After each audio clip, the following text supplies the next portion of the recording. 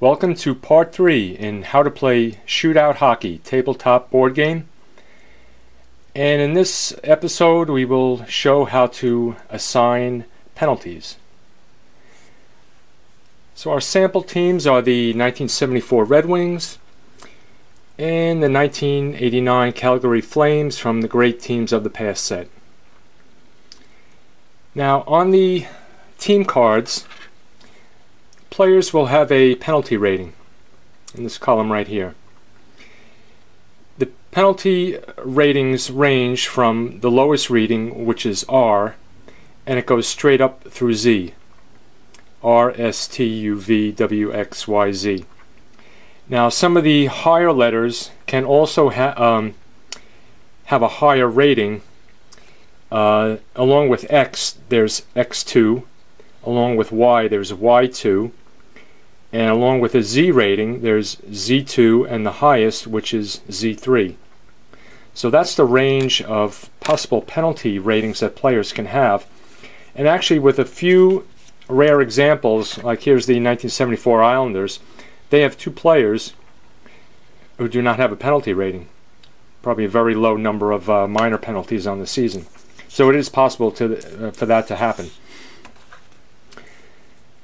So for example, we'll uh, draw an action card and demonstrate a penalty A, which is a minor penalty. So when you get this reading on the action card, penalty A versus the away team. Flip another card and you refer to the two letter grades in the penalty A box on the action card. Penalty A will always have two letter ratings and you're going to check for every player on the roster that has these ratings and they will get a minor penalty. So Detroit will be the road team and checking the ratings.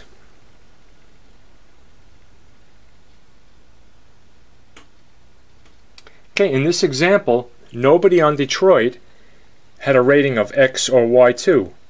So for this time sequence, no penalty happened and you would flip another action card to begin the next time sequence. So let's uh, assume a different reading had come up. Let's say instead of that reading, we got V and Z2 for Detroit, possible penalty. So again, we check the roster on the penalty column.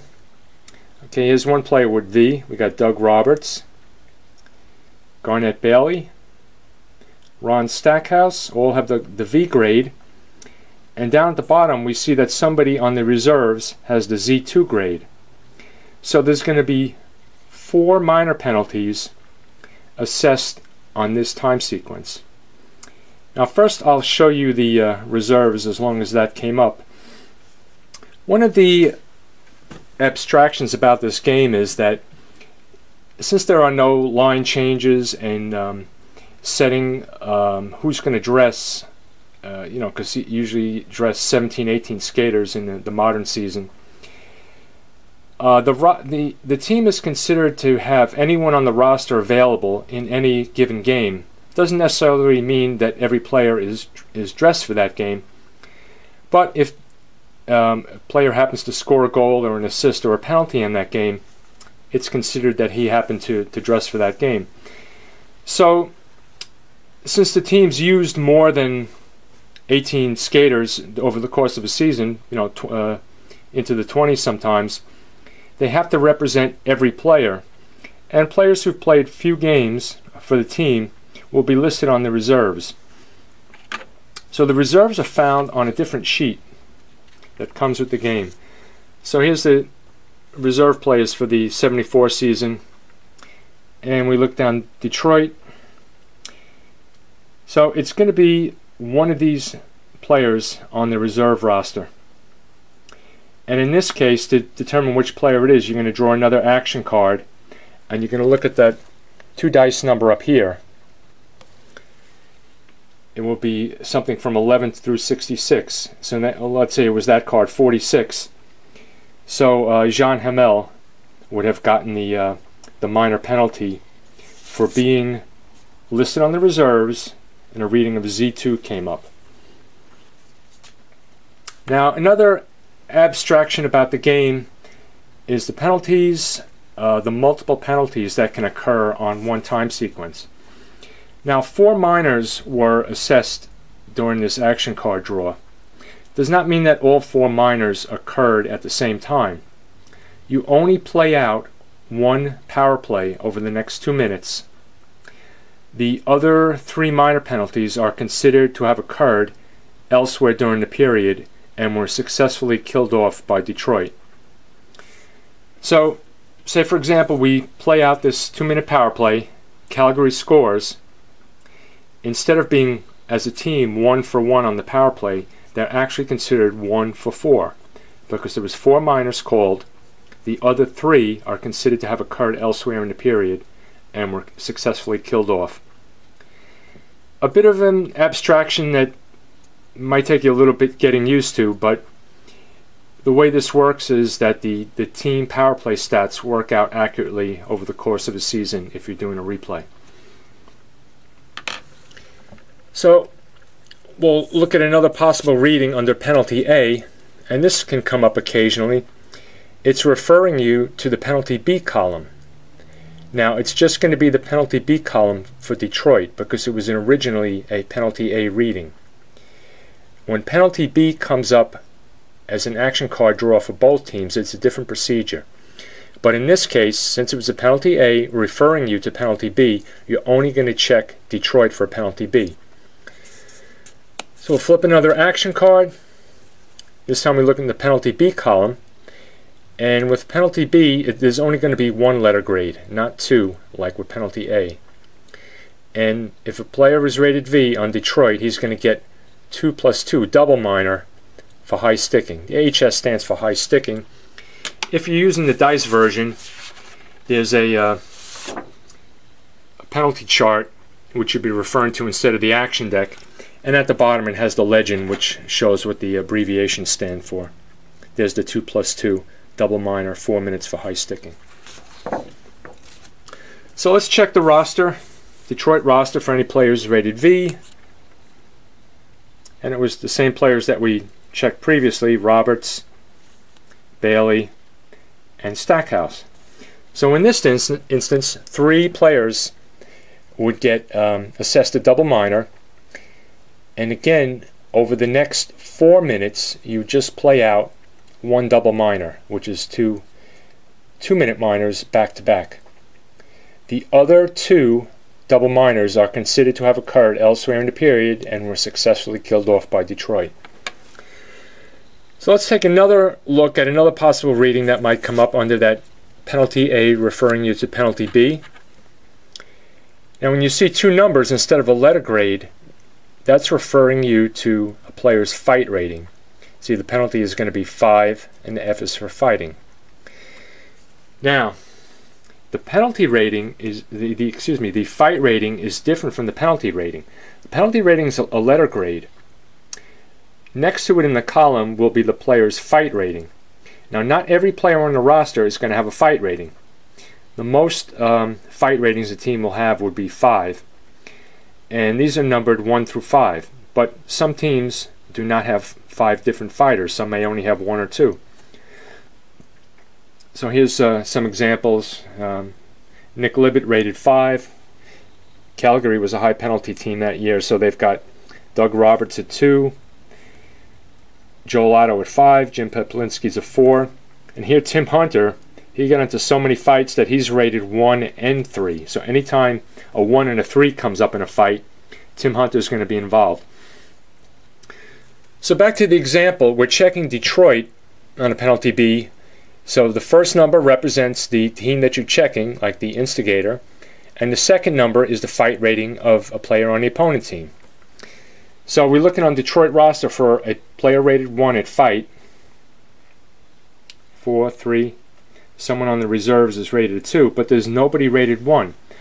So if the instigator team does not have a player that matches the fight rating, then no fight occurs, the that that play sequence is ended and you draw a new action card and start a new play sequence. There was no no penalty on that uh, on that time sequence.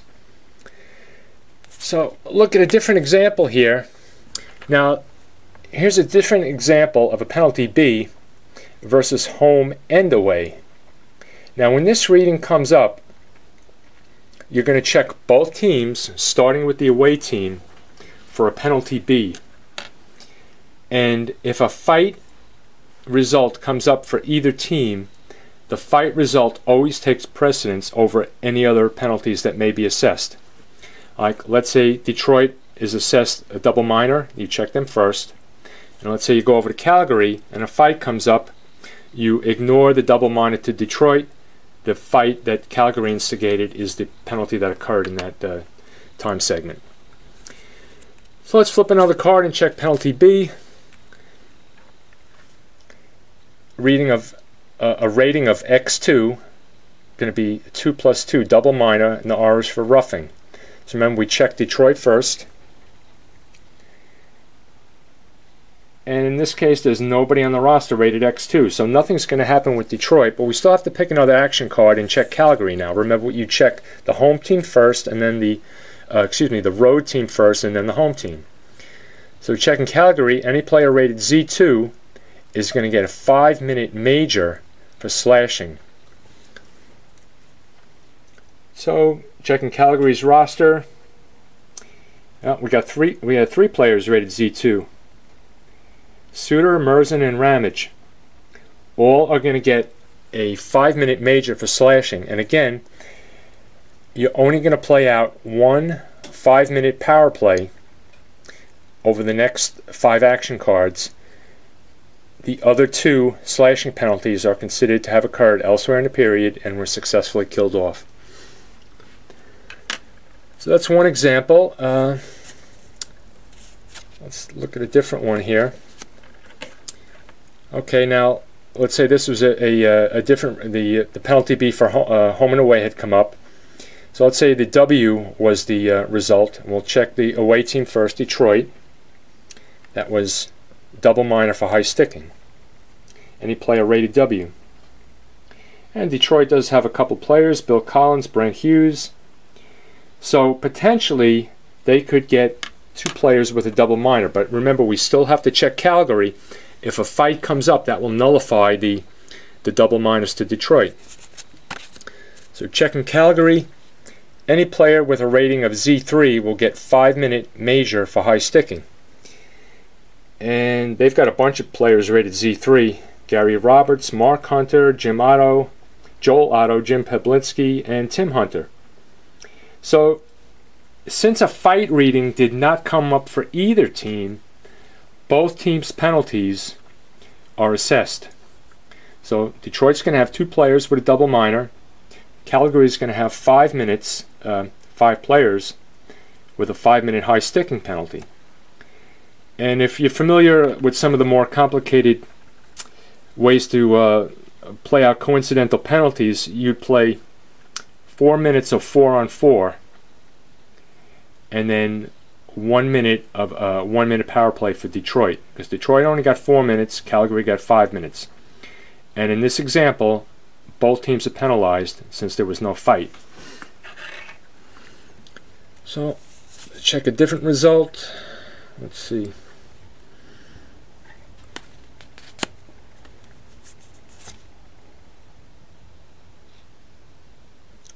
Okay. We'll look at an example of a, uh, a fight reading. Two, uh, two versus two. Now let's say again we're checking the road team first. The road, the, the uh, instigating team fight rating first has to be a two in order for the fight to occur.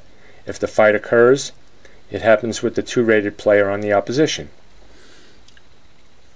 So checking Detroit for a play with fight rating 2 and it's going to be a player on the reserves. We'll check that reserve list again. And it's Bryan Bugsy Watson. No surprise there. He led the league in penalties that year. And yeah, there's the two. So he, uh, Bugsy Watson is the instigator fighter.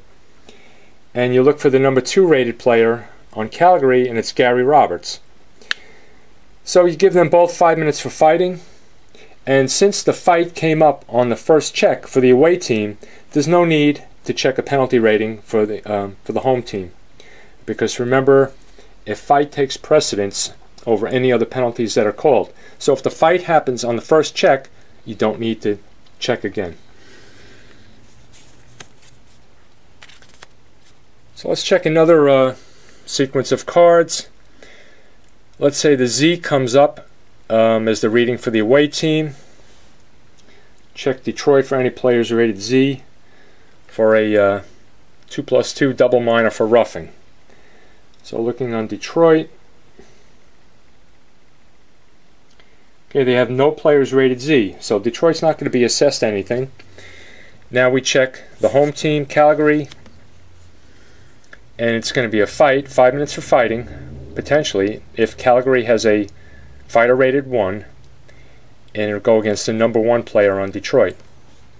So Calgary definitely definitely has a 1. We already saw uh, Tim Hunter was rated a 1 and a 3. So Hunter's going to instigate the fight. There's definitely going to be a fight because the instigating team had the rated fighter. Now we check Detroit, and there is no one on the roster rated 1. But the fight still occurs because the instigating team had a player whose number matched the, the uh, indicated number.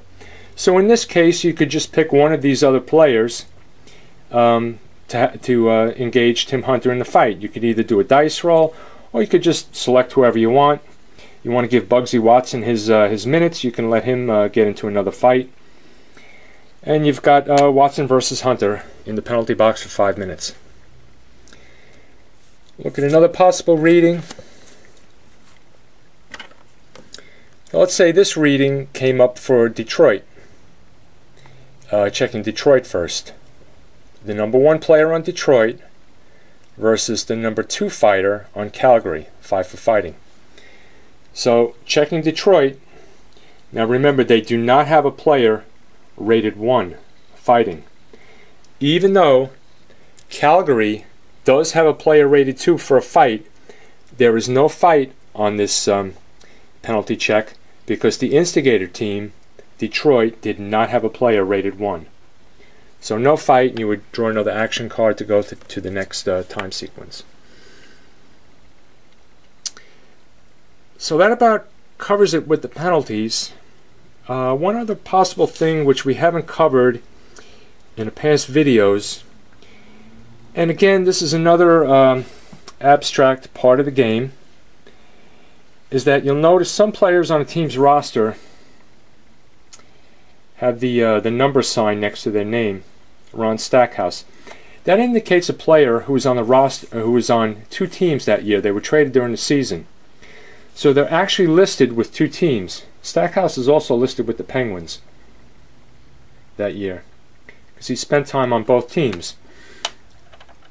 Now, when you're replaying uh, a season with either of these teams, both of these players are potentially on the roster for every game of the season for that team, even though they were traded at some point during the season, because their scoring, assist, and penalty ratings are all calculated to work out accurately for whatever their real life stats were, only prorated over the course of a full season.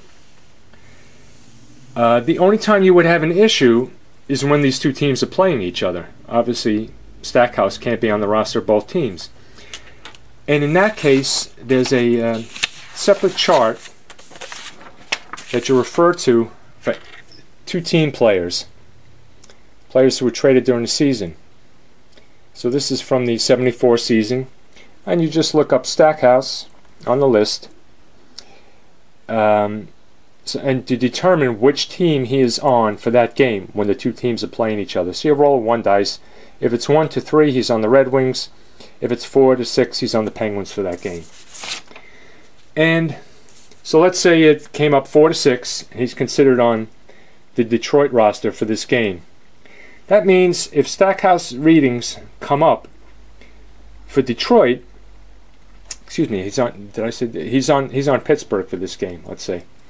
So if any of Stackhouse's readings come up while he's uh, while you're rolling for Detroit, let's say a scoring uh, chance comes up for, for letter Z, or a penalty comes up for V, you do not give him the scoring chance and you do not give him the penalty because he is not considered on the roster. In the case of the scoring chance, you would draw another action card and get a different letter. And some other player on the team is going to uh, have a scoring chance. In the case of the penalty, you could just, just ignore it. Um, there's several, as we saw, there's several other players on the roster rated V, so if a V rating came up, only those two players would have it, and you would just skip Stackhouse in that instance. Okay, so I think that just about covers um, all aspects of the game. And as you can see, it's easy to play, plays quickly, and it's uh, quite addictive. Once you get uh, going on it, you can see that you can knock out four games in an hour. It's more of an incentive to take a crack at attempting a full season replay with the entire league, which if you try that with other games that are a bit more comprehensive and take longer to play, it could be a real um, daunting task. But with shootout hockey, the potential is there to, to replay a full season. So thanks a lot for watching, and I hope you'll um, check out the game. Check the uh, the link at the end of the video to see where to purchase the game. And again, thanks for watching. Bye.